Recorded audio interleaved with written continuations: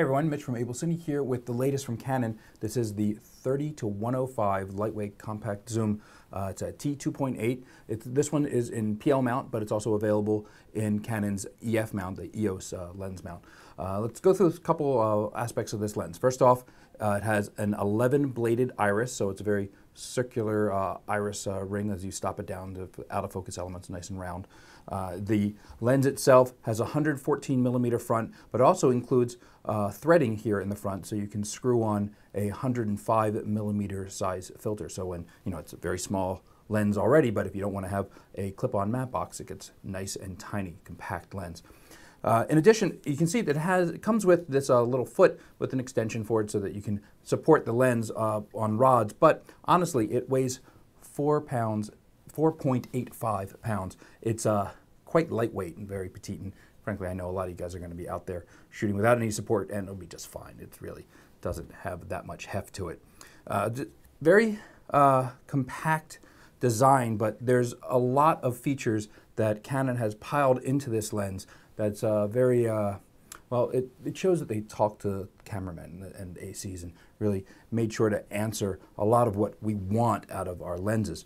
So uh, you can look at these gear rings and this one here for iris, this one here for zoom, this one here for focus. There's a companion lens to this, the 15.5 to 47 T2.8.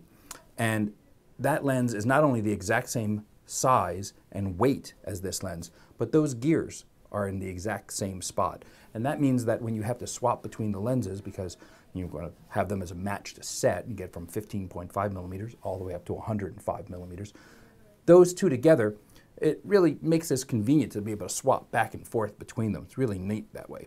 Now the lens itself, there's 300 degrees of rotation for the focus, and that means there's room for lots and lots of uh, reference marks, and it gets all the way down to two feet. And that's two feet from the, the imaging plane. So that's back here where the sensor is. You're going to get focus out to maybe about there. And at 105 millimeters, to be able to focus on something that's that close, you're going to get really tight in that frame there. It's really quite nice. Other aspects to the lens and the physical design, you can see that where you have the markings uh, for the iris and the zoom and the focus, they're on slanted rings. These are rings that it's not flush to the surface as much as at a slight angle. What that means is that, you know, when we use a small lens like this, it's not always an AC on the side with a follow focus being able to make adjustments.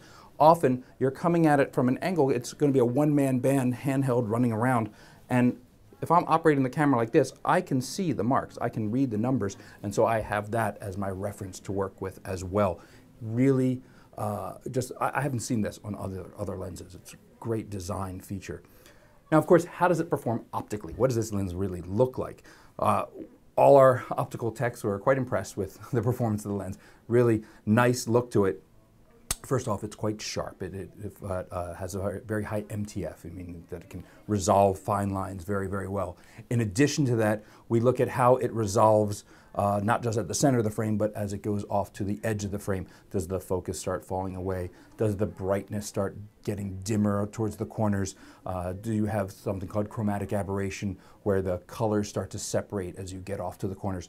This lens performed extremely well in all those tests. We, we've, and other tests as well, like the geometry of the shape, does it, of the frame, does it sort of bend the image at all?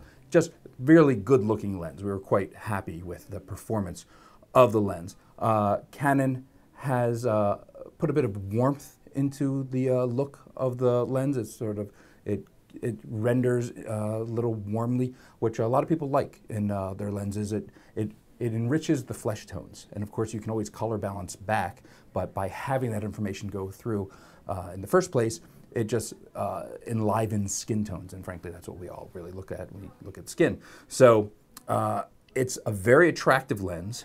And again, lens this big in a range 30 to 105, the other lens 15.5 to 47. That's a little bit bigger range than you get from other manufacturers of small lightweight zooms. So it makes it really attractive and really functional as a tool. It's the Canon 30 to 105 T2.8 and it's available from AbelCine.